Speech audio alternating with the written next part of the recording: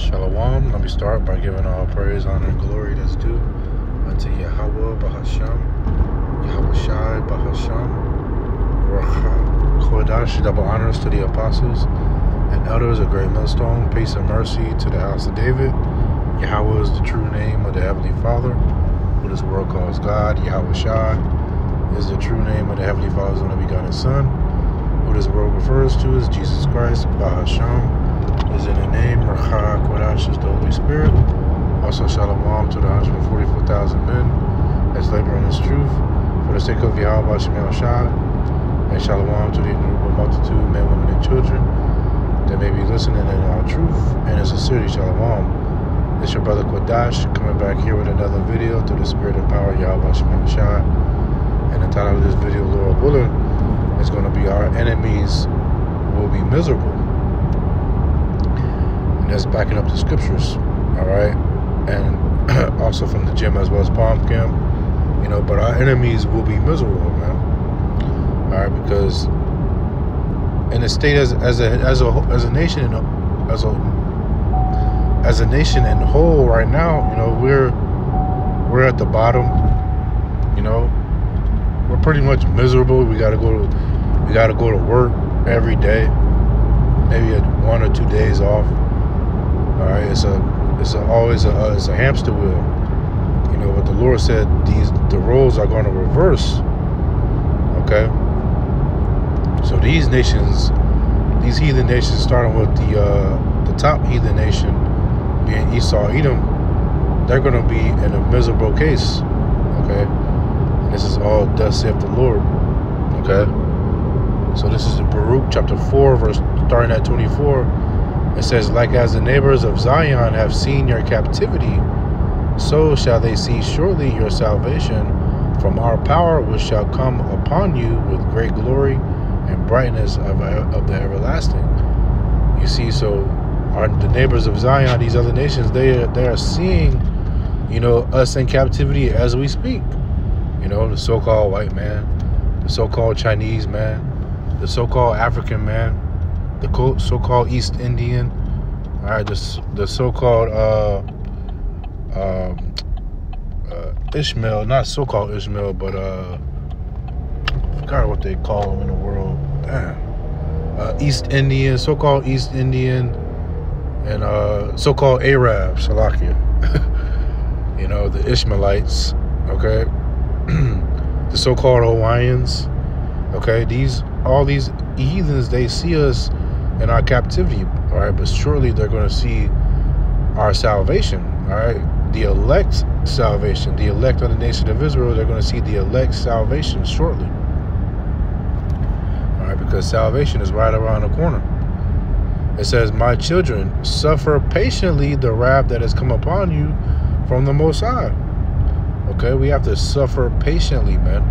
All right, endure this suffering, endure this captivity. Okay, because the scripture says, and and uh, going up in the same chapter, it says, "You were sold."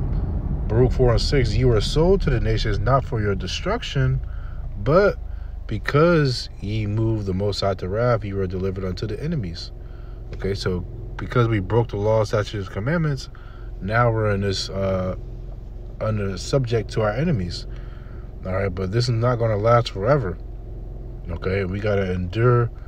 Uh, we got to endure the wrath that was put upon us.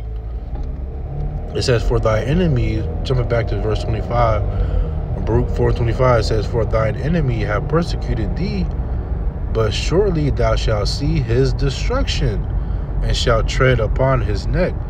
All right, so surely we're going to see our enemy's destruction, man. All right, and we're going to tread on high above them. We're going to tread upon their necks, man.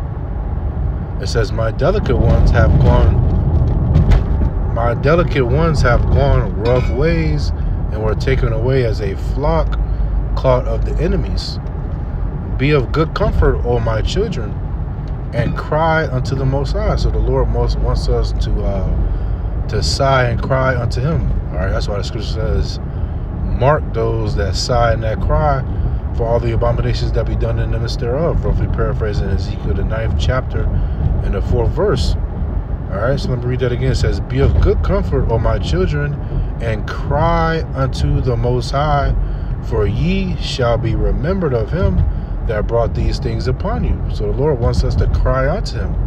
All right, righteously complain unto Yahweh Shem Shai to deliver us out of this captivity. And that's what the elect is doing. We do that all right, through our prayers, all right, through our videos and going out to the highways and byways. We're crying unto the Lord, all right, to deliver us, man. It says, uh, verse 28, For as it was your mind to go astray from the Most High, so being returned, seek him ten times more.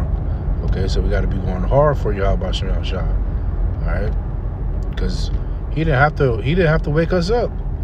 You know, we could have been still in this world, calling ourselves black, calling on Jesus, thinking that the God, uh, thinking that the God of the Bible is a so-called white man. Okay, but the Lord found it, found favor in us to allow us to wake up to this, to this truth, man, which is a, a beautiful thing. All right, which is something to be not taken uh, for lightly. All right, this truth is not a, a, a combo meal. Okay, this truth is precious, more precious than fine gold, more precious than rubies. All right, something that you can't purchase, so more valuable than money. All right, verse 29 says, For he that have brought these plagues upon you shall bring you everlasting joy with your salvation. Take a good heart, O Jerusalem, for he that gave thee that name will comfort thee. All right, Yahweh by Shem. All right, he gave us the uh, the name Yerushalayim. All right, all right, city of peace. Okay, so he's going to comfort us. It says, this is uh, verse 31. It says, "Miserable are they that afflict thee, and rejoice at thy fall." Okay, because the Lord is going to flip the script. All right, uh, continual employment. All right, for the heathen nations, we're going to rule them with a rod of iron. All right, and to be quite frankly, we're going to beat the shit out of them, man. All right, every day. All right, tormentation. All right, on a Sabbath. All right, mental torment. Okay. So every day they're going to be in a miserable case. All right, and they're already miserable now. Seeing the elites are already in a pitiful case now. All right, because they're seeing the awakening of the elect. Okay, it says uh, in Revelation that fear came upon them. All right, when they saw us standing on our feet, roughly paraphrasing, man.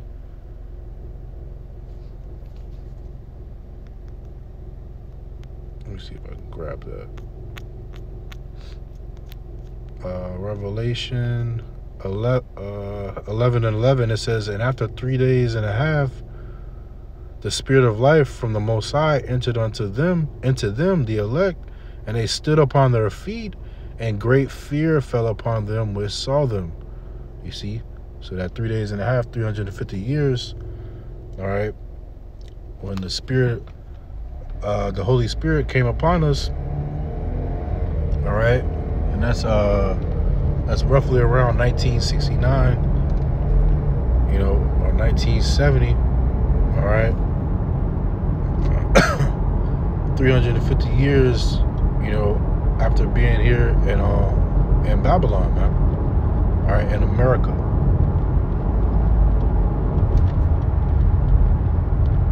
and let me go back here to baruch baruch 4 and 31 says, Miserable are they that afflicted thee, and rejoice at thy fall. Miserable are the cities which thy children served. Miserable is she that received thy sons. All right, and Babylon is going to be destroyed, man. Utterly destroyed, man. All right. Whithersoever the uh, the children of Israel have served in captivity, all right, that city is going to be in a uh, in a in a pitiful case. All right, case in point, Egypt, man. Did not we serve in Egypt, and, and Egypt has never been the same since, man. All right, has never recovered since the Lord destroyed Egypt, man. So how much more America, man? America is going to be utterly destroyed. Nobody's going to inhabit this place again. All right. it says, verse 33, For as for as she rejoiced at thy ruin and was glad of thy fall, so shall she be grieved for her own destruction. For I will take away the rejoicing of her great multitude, and her pride shall be turned into mourning. For fire shall come upon her from the everlasting, long to endure, and she shall be inhabited of devils, of devils, for a great time. All right, speaking of Babylon the Great, man all right, going to be destroyed. All right, Babylon the Great is America. All right, it says that uh, in Revelation 18.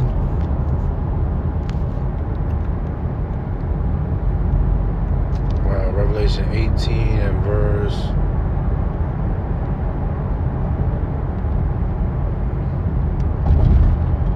2 it says, And he cried mightily with a great voice, saying, Babylon the great is fallen, is fallen, and is become the habitation of devils, devils, and the hold of every foul spirit, and a cage of every unclean and hateful bird. You see? So that's the future of America, man. Destruction. Alright, why? Because they had the Lord's they had the Lord's people in this place, man. Alright? And and treated us uh, very badly, man. All right, further the, the uh, they furthered the, the affliction. All right, they didn't try to comfort us, tell us who we are. All right, they continue to this day. All right, to keep us down low, to to try to keep this heritage, our true heritage, away from us. All right.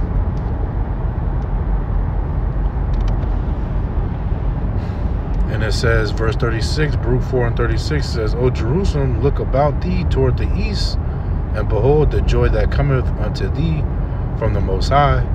Lo, thy sons come, whom thou sentest away.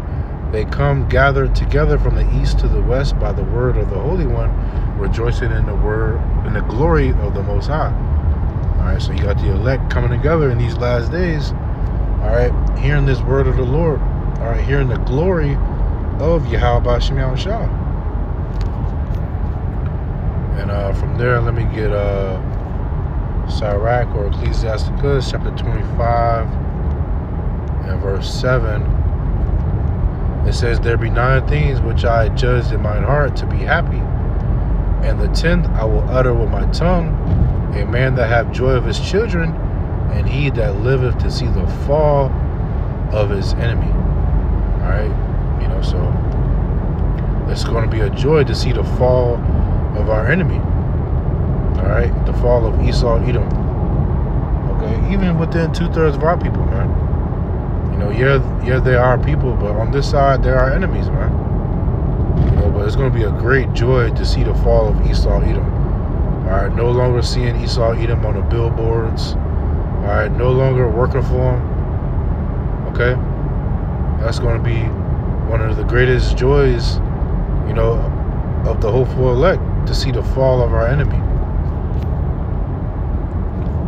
And uh, from there, let me get Wisdom of Solomon 15.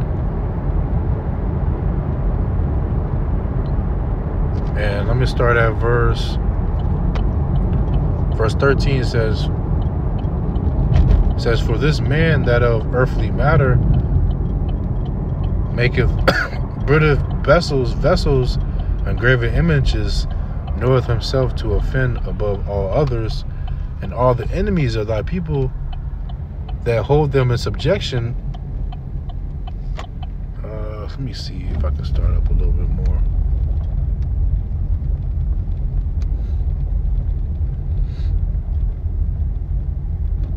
All right, this is going to uh, those that make idol gods. Um,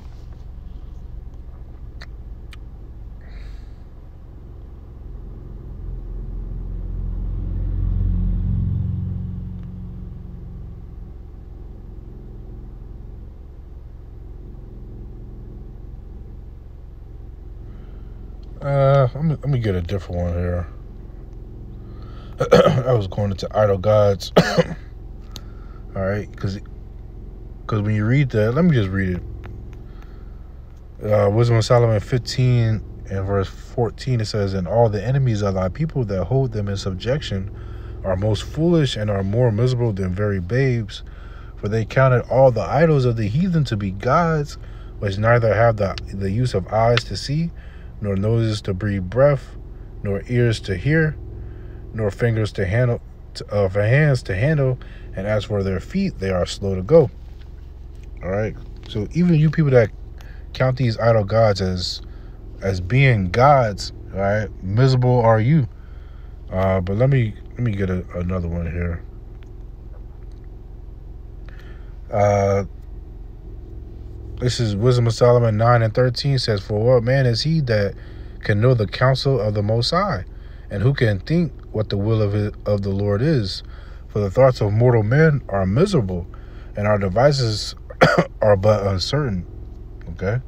See, the thoughts of mortal men are miserable, man. Okay? Because without Yahweh Shemiel Shah, you know, you're really, you're really, uh, you're really miserable in this world. All right? And that goes for two thirds of our people. All right? Because they are enemies on this side as well.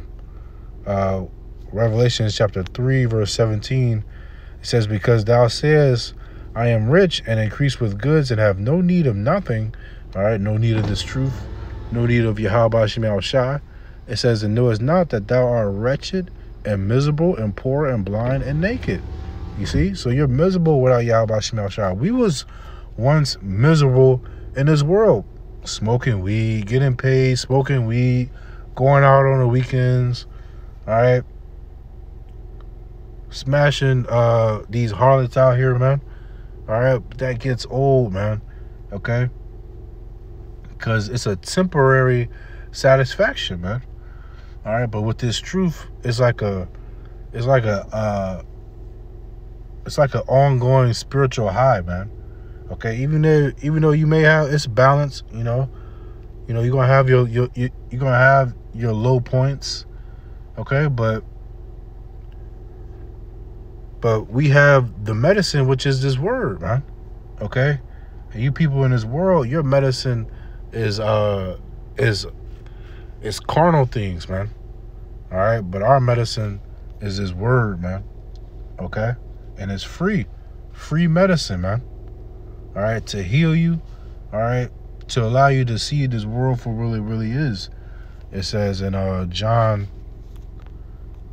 St. John 8 and 32. It says, And ye shall know the truth, and the truth shall make you free. Okay, so you're free in the spirit. You're no longer into in this bondage state of mind. Okay? All right, seeking to please men. All right, having no hope. All right, thinking that you got to live up to this Babylonian uh, concept, man, to this Babylonian uh, image. Okay? We're living uh, onto the image of Yahweh Shemal Shah. All right.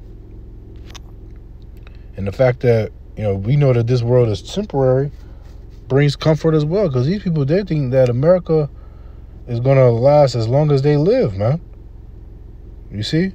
But America has, it has a, uh, what's the word?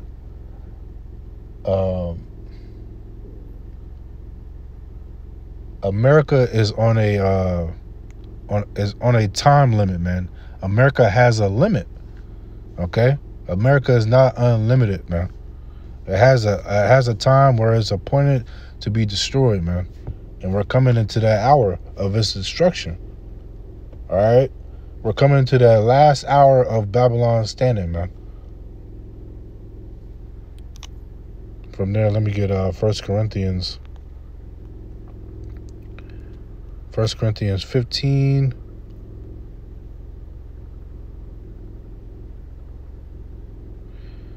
And I'm going to start at verse 16. It says, For if the dead rise not, then is not a Mashiach raised? Raised. And if a Mashiach be not raised, your faith is vain. Ye are yet in your sins. then they also which are fallen asleep in a Mashiach are perished. If only it says, if in this life only we have hope in a Mashiach, in this life only we have hope in a Mashiach, we are all we are of all men most miserable. Whew. And let me get that in the uh, NLT. First Corinthians 15 and 19 it says, "And if our and if our hope in Hamashiach is only for this life, we are more to be pitied than anyone in the world." I'll read that again. It says, And if our hope in a Mashiach is only for this life, we are more to be pitied than anyone in the world. Okay? So we we hope for the Lord to return, and He is going to return, man. All right, and and we're going to live eternal, man.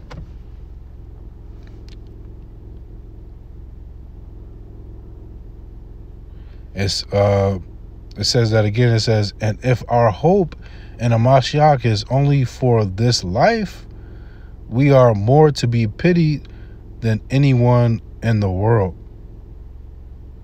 All right, because a lot of people don't have faith, you know, really that Yahweh Shai, all right, is going to return, man. You know, imagine if if Yahweh Shai didn't return, man. All right, then we'll be miserable, man. Okay? But the fact that we're serving a true and a righteous power that doesn't lie, all right? We're not miserable, man. All right? Because we have hope and and and uh in Yahweh man. Yahweh Bashmi Shai. We have hope in the Most High Yahweh that He's gonna bring His Son Yahweh all right, to deliver us out of this miserable state. All right, because it's miserable, man. All right, we're slaves. All right, you know we need new bodies. We we get we get ill. Okay, there's a lot of promises that's coming along with this new covenant. All right. By the way, we are not in the new covenant just yet. We're entering into the new covenant, but we're not in the new covenant yet. Revelations 21 and 4 says, And the Most High shall wipe away all tears from their eyes, and there shall be no more death, neither sorrow, nor crying, neither shall there be any more pain, the former things are passed away. Neither any more pain, man. All right, speaking right now, I got a little slight headache, man. You know, no more pain in the kingdom of heaven, man. No more headaches, man. All right. But our enemies are still going to be in fleshly, mortal bodies, man. Immortality is only given to the nation of Israel. Dwara Yahweh Shemel Shah. All right, new bodies is only for the nation of Israel.